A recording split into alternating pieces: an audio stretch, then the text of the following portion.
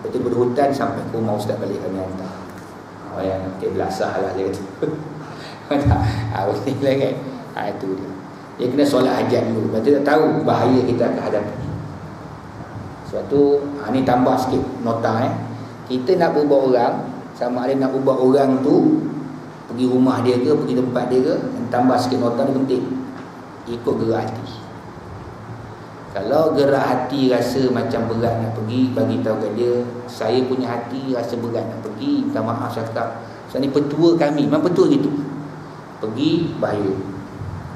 Lepas tu kalau kita singgah depan rumah orang, Bukan singgah depan orang Berdiri di depan rumah orang Dalam rumah tu ada orang sakit Yang memang kata rumah ni Ustaz Datanglah Ada orang sakit dalam ni Kita jangan terus masuk Berdirilah terlebih dahulu depan rumah tu Baca Al-Fatihah dulu Kalau sebut Al-Fatihah tak lepas Asyik terkeluar Al-Fat Al-Fat saja. Tak keluar Al-Fatihah. Ha, Makna petanda ni buruk.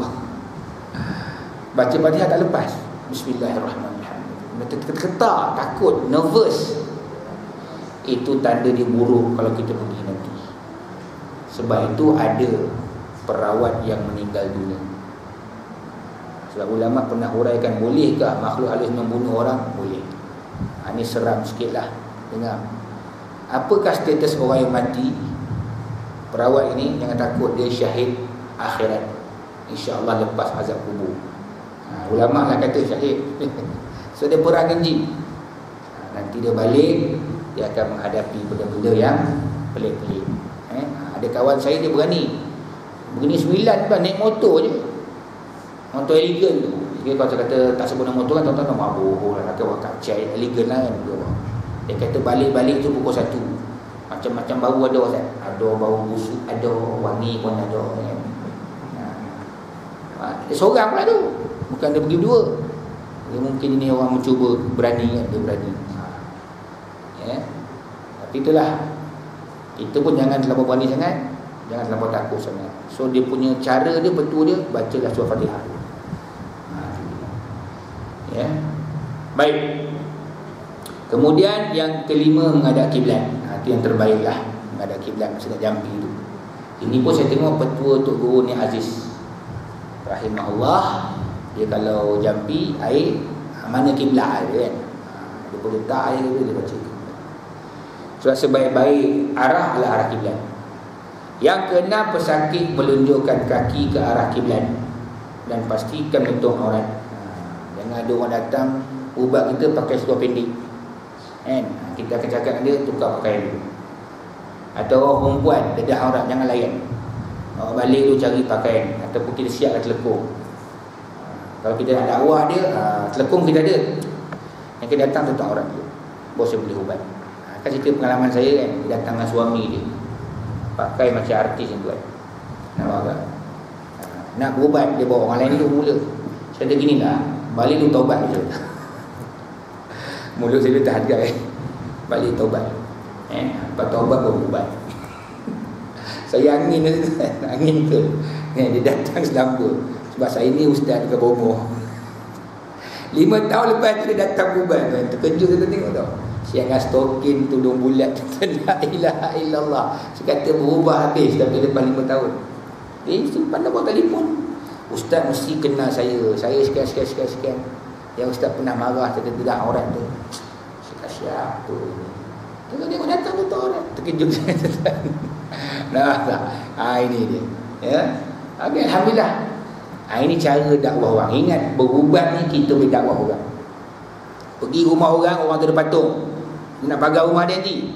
Patung-patung ni kena buang Sebab Islam tak benarkan. Malaikat tak masuk. Kita pagar tak, tak guna. Pakailah pagar apa Walaupun pagar ruyung saya pun tak boleh. Runtuh pagar Sebab ada ni benda-benda yang dibenci oleh Allah dan Rasul dan para malaikat. Patung eh, Tangkai Azimat. Ha, Itu dia. Dakwah tuan Dari pengalaman saya Orang yang taat dengan kita ni Immediately dia akan Hapuskan semua barang-barang tu India. Saya cuba tuan Betul lah. Saya ada kawan saya pula di India. Ni mamah lah. Kerja kayu air tu. Eh saya tanya lah Mula cerita bukan cerita pasal bubat pun tanya Entah ni saya lewat kahwin Dah jumpa mamak pun kahwin. Ha, Biasalah mak aku tak nak Melayu Dia nak mamak juga. Saya tanya apa lebih mama ni? Mama ni taat Ustaz. Dia sekarang sama belajar kat Jordan buat PhD Mama ni taat Oh gitu. Saya kata betul lah Saya pernah ubat rumah mama Dia tangkal rumah tu Ini ni wafa tu kan Tangkal yang letak. Kadang-kadang mama banyak frame-frame tu kan Tulisan raja-raja beli-beli tu sekarang dah keluar dah resolusi eh, resolusi Persatuan uh, Perubatan Islam Malaysia tidak boleh berubat menggunakan rajah. Saya gunakan rajah juga tapi sekarang saya tak pakai lah kot. Eh, kalau pakai pun tengok keadaan lah. Ha, rajah tak boleh sebab muskil eh, rajah. Saya pakai pun satu rajah saya tak pakai jumpa banyak rajah. Rajah hari ni tuan saya suruh turun kat rumah ni. Turun-turun kan tuan. Subhanallah. Dia tak tunggu dah. Kalau Melayu, ha, yo, oh, tak boleh saya. Tak boleh. Oh dia memang, dia biar ke dia. Padahal kita lakukan turun kan sebenarnya. Ni mama dia faham. Itu cucu dia datang main dia cakap, ha, ni tak boleh pakai ni yang benang hitam. Ya kau ustaz kalau boleh, kalau boleh. Dia ambil gunting terus, kasih potong. Mata, potong terus. Dia kata lah kawan saya ni dia cari mama juga. Mama mama. dia kata mama tak. ha, Sebab tu tuan-tuan kalau jadi ustaz kan, kalau ada mama tu ikut tuan-tuan dia akan ikut terus kan. Mengaji. Oh, dia minta asup lain. Ha, dia. Eh? Kalau saya khutbah dekat uh, Jerah Hingga ni Pakistan, Bangla, Myanmar. Jadi dia sampai dia kata Ustaz Mak Azhar mana kasih baca doa ke rumah tu Mana ha, Lepas ni kita kasih makan kenduri. Macam tu. Siapa heran? Oh, orang Melayu pun heran. Apa salah Ustaz ni? Dia ni aura Oh mamak sekali ha, Jadi Maulana ha, Itu Dia mana style gitu. Ya yeah? Mamak Baik.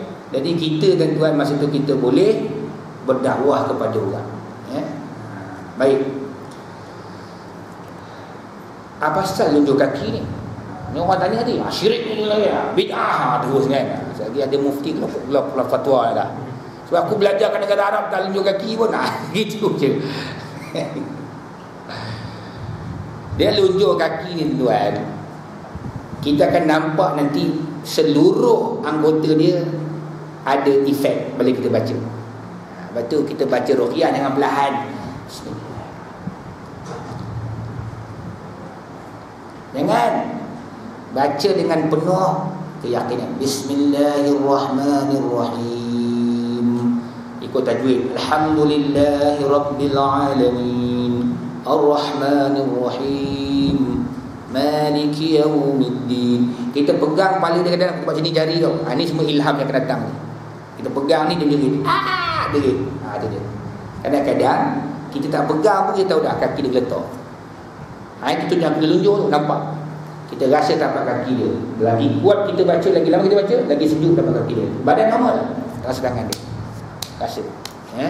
Kita rasa tangan dia. Kalau kata kita ada isteri kita bantu, kalau lelaki perempuan suruh isteri kita rasa tangan dia. Tapak kaki tak apa lagi tulis rasa tu tangan ni. Kalau biar ada orang bantu rasa. Kalau tak ada orang juga kita ambil belakang. Sebabnya belakang dengan ni ini sensitif sikit pasal tapak tangan, tangan kan? Ha, ni dia kurang si rasa sensitif kan? Tidak rasa sejuk. Biasa yang tuan badan normal. Kaki sejuk macam ais. Ha, itu gangguan. Budak-budak senang nak trace itu je. Budak-budak ni kalau menangis je ha, itu orang tutup kata cuba rasa tapak kaki ni. Sejuk tak? Orang sejuk macam ais. Badan okey je. Ha, gangguan tu. Ha, ni semua petua tak ada hadis. Nabi dah sebut. Iza barudat rijla tifli Fahuwa massa Fahuwa Mas apa ni Fakat massa hujin Hadis palsu saya cerita sendiri. Maka ada hadis lah kan Bila budak tu kakinya sejuk Maka sesungguhnya jin sudah pun mengganggunya. Ha, Tak ada. Ini semua terjeribah sahaja. Itu namanya eksperimen Petua. Tu kan itu kalau kita lagi banyak ubah ulang lagi banyak betul kita sebenarnya banyak ilham kita. Saya rasa saya kena hurai sikit ilham kata orang keliru. Sebab ilham datang? Kita tanya balik kita berubat cara apa? Tanya tu. Cara apa? Doa doa kan? Kan saya sebut dulu kan sebab itulah baca yasin lepas solat subuh. Sebelum tidur baca surah sejadah tuan-tuan bila banyak beramal dekat diri dengan Allah. Allah bantu dan buat. Nak pula ruqyah tuan baca Quran je. Allah bantu. Bantu macam mana? Ha, itu susah tu nak sebut. Eh. Malaikat dah datang bantu. Ha, itu kita ada ilham dia. Kita rasa kita pegang. Dia menjerit. Itu jari kita. Nak, macam saya kita ulang balik belajar. Kita baca Yasin. Jari gini Yasin wal Quranil Hakim innaka laminal mursalin. Ala siratim mustaqim. Tanzilal azizir rahim. Itu bagi kuat jari kita. Ada kita pegang dia dia menjerit. Dia rasa panas jari kita. Ha, Dulu masa saya tak tahu tu Tengok orang ubat itu Saya kata pakai jin ni Tangan dia Pegang je Padahal Saya tanya ustaz-ustaz dia Dia tak tahu sebenarnya dia, dia, tak ada pengalaman. Atau mungkin pakai jin. Padahal tak. Memang orang tu dah berlatih Zikirnya dengan jari Dia pegang. Terus setengah orang pakai tasbih ni Tasbih yang biasa dia pakai Letak tasbih Menjaga tu orang tu. Sebab apa? Amal amal yang kita buat dengan Alat-alat kita pakai tu Kadang sejadah Kadang-kadang serban yang orang pakai dekat sini kan Ada gunakan tu dia bantai pesakit tu Menjerit terus. Itu semuanya Allah tak bantu Atas dasar kata benda tu pernah kita bawa ibadat. Jin yang takut benda-benda itu ha, Tapi kalau tasbih baru beli kat Maidin Kita guna biasa jarang lah eh, Dia tahulah baru beli kat Maidin kan? Kau pun baru boleh pakai lagi. Simpan dalam hari pun setahun kan? Contohnya kan? Ha, Kita biasa pakai tu ada. Eh, ha, Baik. Tapak tangan di muka. Letakkan atas ribaan sebab nanti dia rasa geletar ni nampak dia. Waktu kita baca kena kita tengok. Tengok eh? Kita pastikan. Ha, kadang-kadang jari dia gini mula kan jari dia akan angkat satu. Ha gitu. Begitu ha, ha betul angkat sendiri. ha, tapi satu yang buat kena hati-hati juga. Ha, ini pengalaman saya lah. Bila kita berubah orang kan? Kita baca pejam mata kononnya bagi khusyuk. Dia lempang kita. Ha, tu yang satu kita bimbang. Ha, dia ludah kita. Kita pun kurang asam betul. Ha, kan? So, kita punya mata tak sempat nak ngelak kenapa ha, apa cara dia tu? Ada betul ni ha, betul saya kata dia betul. Dia, dia letak tangan dia gini dia luncur kaki kan? Kita tengok lu. Kalau dia kalau dia kalau kita baca tu mata kena buka lu. Kalau dah dia meletak gini tuan-tuan mesti letakkan tangan tuan kat sini ah. Pegang ni. Tangan, tangan kanan-kanan ni pegang ni pegang. Dia lemah insyaAllah. Orang kena rasuk pegang ni dulu lemah. Ha, ni petua ni ada. Dia tu kata kita kena beramal kuat. Perbuatan cara Islam ni amalan kita. Tapi kena bergantung pada Allah. Hanya kita kata sebab aku dah amal kuat Dah baca banyak ni 999 kali zikir ha, tak? Boleh. Semua pada Allah Ta'ala. Kita ikhtiar insyaAllah. Saya dah tu saya, jumpa macam-macam dah. Kalau kita pegang sini ha, dia, dia, dia terus lemah. Ha, Kita tahu dah Oh dia lemah dia. InsyaAllah. Sebab tu kita kena tahu. Kita, kita, kita, kita tengok dulu Betul orang nak jampi tengok dulu Sakit dia. Ha, Kalau kalau dia keletar tu Dia jaga. Dia sini orang kata. Ha, tu kita pegang ni, kita siap.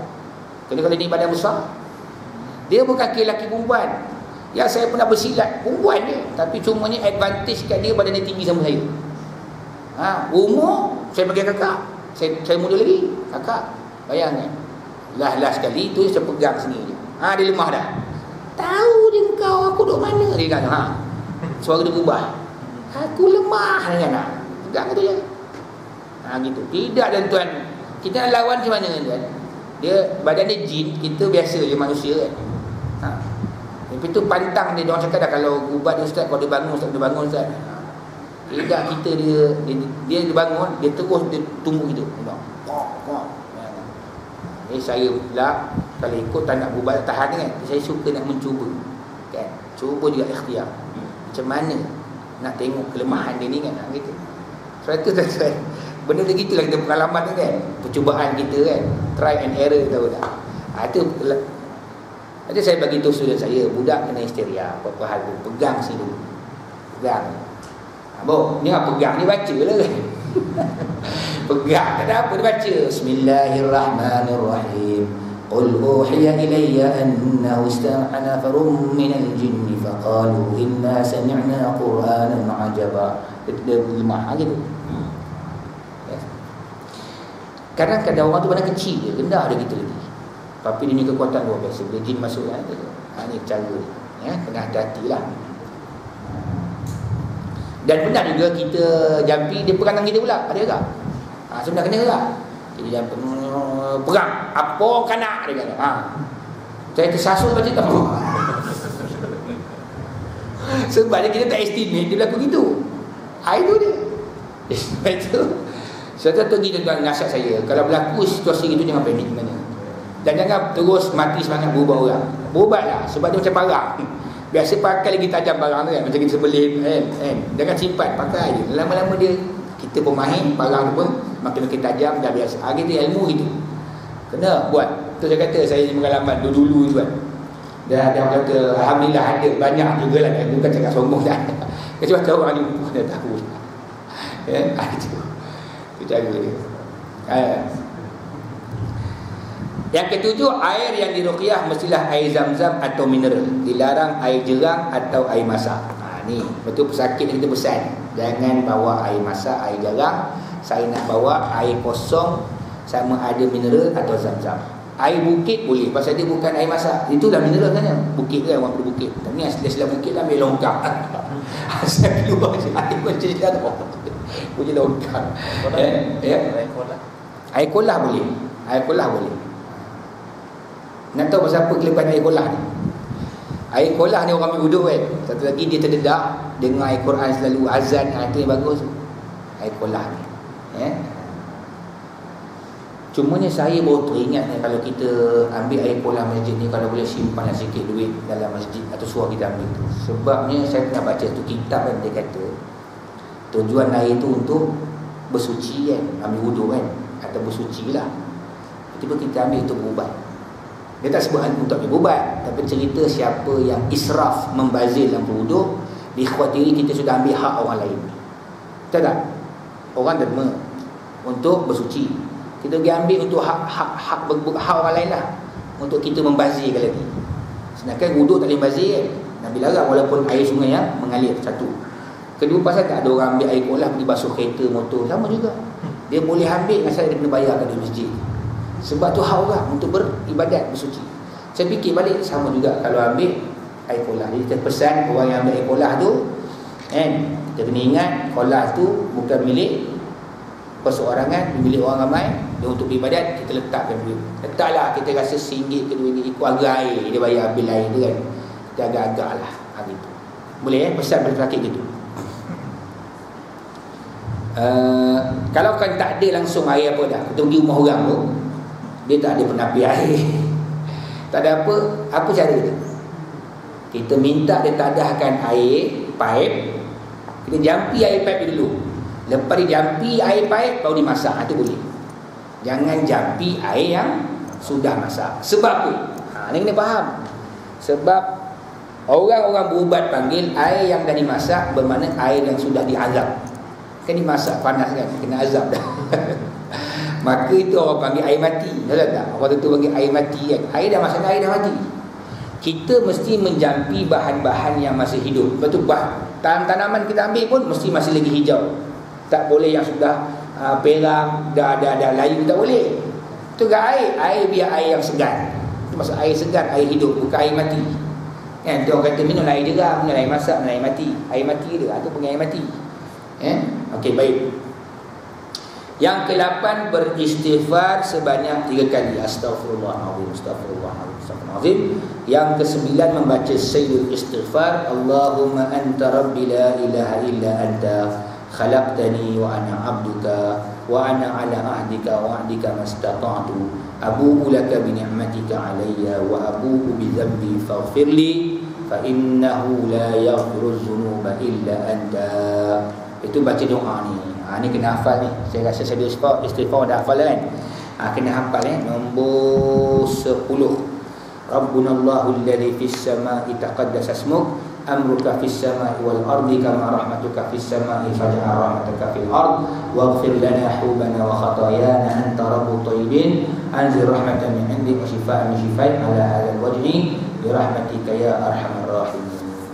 Ha, ini dia kata muqaddimah bacaan dia Rabbuna Allah Tuhan kami ialah Allah. Alladhi fis sama' dia itu di langit. Taqaddasasmuk. And suci namanya. Amruka fis sama perintah engkau di langit wal ardi dan di bumi. Kama rahmatuka fis sama sebagaimana rahmat kau dekat langit faj'al rahmataka fil ard. Jadikan rahmat kau dekat dunia ni ha, saya tuan-tuan tak, tak saling terima tak apa semua tuan-tuan tahulah isi kandungan cara umum ni kan kata aku orang risau pula ni panggil jin ni ha, kan? susah juga kadang-kadang orang tahu panggil jin ni sebab apa kau rasa jin aku tengok ada perkataan boleh pelik dah kan Hubana ni, ni jin ni. Ha, dah, tak masalah. Orang tak akan hadapi dia gini tau. Orang tak tahu, eh? kita tak tahu. Okey. Waghfir lana hubana wa khatayana. Apa maksudnya? Ampunkan dosa kami. Hubana wa khatayana. Kesilapan kami. Antara butaibin. Engkau lah Tuhan orang baik-baik. Maksudnya orang Tuhan yang melihara orang baik-baik. Turunlah rahmat dari dari sisi engkau. Dan juga syifa. Iaitu. Apa mana dia? Tanya penyembuhan dari sisi engkau penyembuhan engkau ke atas sakit ini dengan rahmatmu ya Allah jadi dia punya isikan dengan umumnya ialah pertamanya puji Allah keduanya minta ampun kepada Allah. Ketiganya minta Allah turunkan rahmat dan juga kesembuhan. Itu mula-mula kita nak berukiah dan insya-Allah pada kuliah yang akan datang kita akan uraikan Ruqiyah tu sendiri yang ke-11 ha, Cumanya lepas ni tuan-tuan balik nanti Boleh mulalah menghafaz Ruqiyah yang nombor 11 ni. Fatihah ayat kursi Ya bari'u kaf ha ya ain Hamim ain siqaf Okay tuan-tuan buka nombor muka salapan tu. Kemudian nombor 3 Nombor 3 kan? Okay Nombor 3 nampak ada tulisan yang macam ni kan? Cuba ikut saya sebut Ya bari'u. Ya Bari ini Tuhan yang mencipta kan? Okey Kaf Ha Ya Ain